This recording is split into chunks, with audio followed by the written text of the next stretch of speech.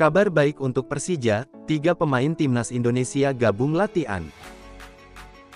Jelang pekan ke-8 BRI Liga 1, Persija Jakarta mendapatkan kabar baik, di mana klub asuhan Carlos Pena tersebut, dipastikan akan diperkuat oleh tiga pemain berlabel Timnas Indonesia, pada pekan 8 nantinya, di mana Macam Kemayoran akan menghadapi tuan rumah PSIS Semarang, pada pekan 8 Liga 1, sehingga, tambahan pemain berlabel Timnas Indonesia, akan menjadi modal penting, bagi Persija meraih poin penuh.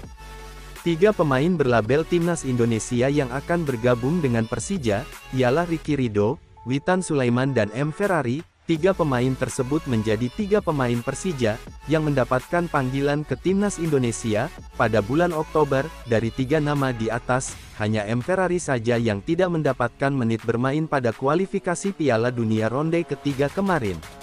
Tiga pemain di atas kemungkinan besar akan diboyong langsung oleh Carlos Pena, untuk menghadapi PSIS Semarang, mengingat Persija Jakarta memang sangat membutuhkan kemenangan, pada pekan ini, demi bisa memperbaiki posisi mereka di tabel klasemen sementara, terlebih, tiga pemain tersebut ialah pemain utama dalam skuad Persija, dari awal musim ini.